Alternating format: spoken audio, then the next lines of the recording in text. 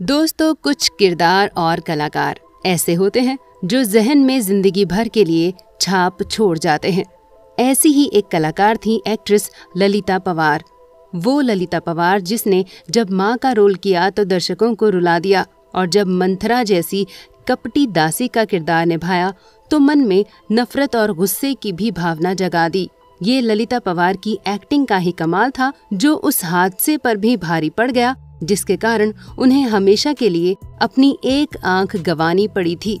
Well दोस्तों, आज की हमारी इस वीडियो में हम आपको ललिता पवार के आखिरी दौर के बारे में बताने वाले हैं, जहाँ आप जानेंगे कि किन कठिनाइयों के साथ ललिता पवार का जीवन गुजरा। तो चलिए बिना देर करे वीडियो शुरू करते हैं। 80 के दशक की मशहूर अभिनेत्रियों में से एक ललिता पवार का जन्म 18 अप्रैल 1916 को नासिक में एक कट्टर परिवार में हुआ था।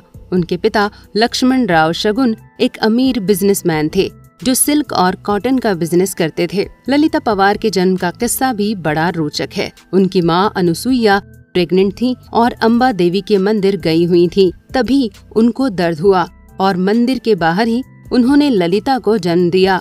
अम्बा देवी के मंदिर में जन्म होने की वजह से ललिता का नाम पहले अंबिका रखा गया। उन्होंने अपने अभिनय करियर की शुरुआत महज नौ साल की उम्र में साल 1928 में आई फ़िल्म राजा हरीश चंद्र से की और बाद में मूक युग और 1940 के दशक की फ़िल्मों में मुख्य भूमिकाएँ निभाई। उन्होंने साल 1932 में एक मूक फ़िल्म कैलाश में सह निर्माण और अभिनय किया।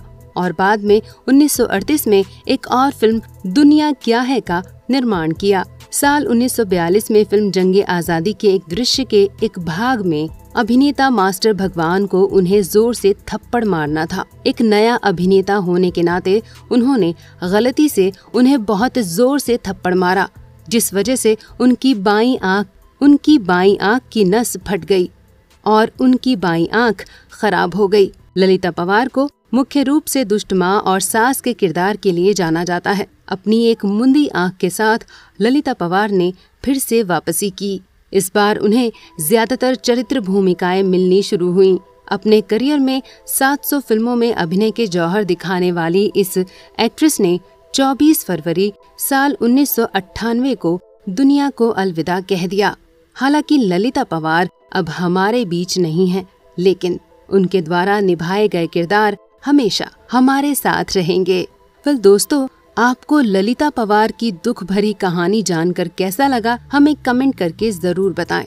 साथ ही, फ़िल्म इंडस्ट्री से जुड़ी ऐसी और दिलचस्प बातों को जानने के लिए हमारे चैनल को सब्सक्राइब ज़रूर करें